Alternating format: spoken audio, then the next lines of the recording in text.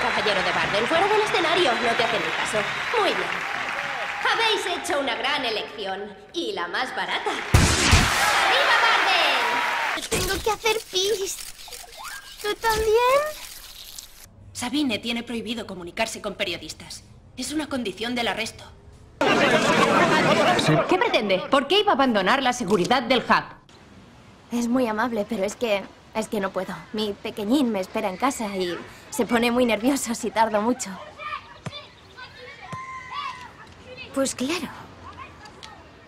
De todos modos, eh, es un placer conocerlas. Igualmente.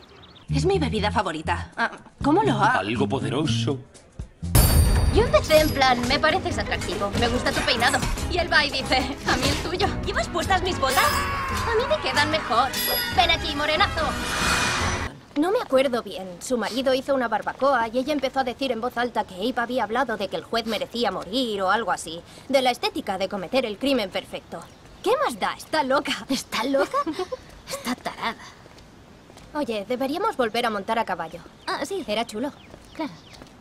¿Cómo le preguntas a un vampiro dónde ir a encajar el diente?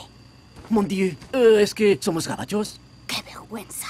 ¡Arranca, arranca! Ah, estoy trabajando, señor Devani. Lástima. Pero... ¿Salgo en cinco minutos? Ya se nos ocurrirá algo que hacer durante cinco minutos. Era el de mi abuela. ¿A qué se dedicaba? Ah, fue la primera mujer negra del estado en tener una tienda de ultramarinos. Oh, una mujer fuerte. ¿Y qué te trae por domina, aparte de lo obvio? Estoy celebrando mi divorcio. ¿Y tus amigas te han sacado para que te diviertas? Sí. Muy bien, chicas, ya me encargo yo. Ahora sí que me tengo que ir. Vaya, qué pena. ¿Otros cinco minutos? Ya conozco sus cinco minutos, señor Devani.